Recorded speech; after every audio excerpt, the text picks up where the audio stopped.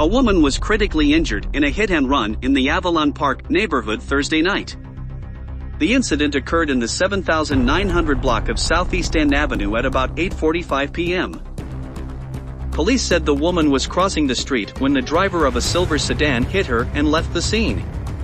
Police believe the driver drove away westbound down 79th Street. The woman was transported to the University of Chicago Medical Center in critical condition. Police described the vehicle as a light color, possibly gray, 2013 to 2016 Chevrolet Malibu with Illinois plates.